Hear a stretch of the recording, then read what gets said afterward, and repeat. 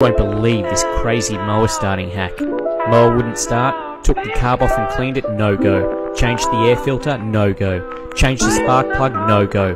Put some fuel in it, bang, give it a go guys.